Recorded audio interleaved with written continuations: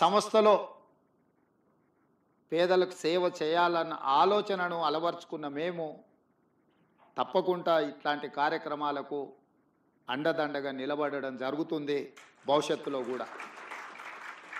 అదేవిధంగా ఈ వేదిక మీద నుంచి ఒక్క మాట చెప్పదలుచుకున్నాం.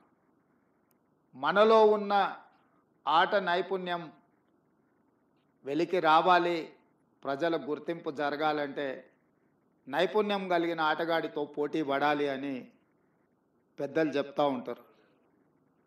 ఈరోజు పక్క రాష్ట్రంలో నారా చంద్రబాబు నాయుడు గారు ముఖ్యమంత్రిగా బాధ్యత చేపట్టిన తర్వాత అభివృద్ధిలో సంక్షేమంలో వారితో పోటీ పడి ఈ రాష్ట్రాన్ని ముందుకు నడిపించే అవకాశం నాకు వచ్చింది.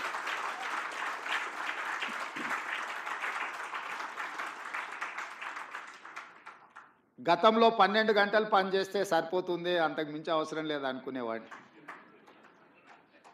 కానీ ఇప్పుడు వారు పద్దెనిమిది గంటలు పనిచేస్తే నేను పన్నెండు గంటలతో సరిపెడితే కుదరదు కాబట్టి మా అధికారులకు మా సహచరులకు మనం కూడా పద్దెనిమిది గంటలు పని చేయాల్సిందే.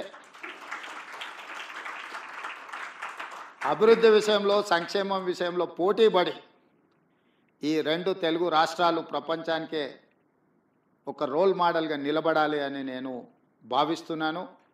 ఆ దిశగా మా ఆలోచన మా విధానాలు మా నిర్ణయం ఉంటుంది. అందులో భాగంగానే తెలంగాణ రాష్ట్రంలో చాలా హాస్పిటల్స్ అంటే ఇది Hyderabad is the hub for hospitals.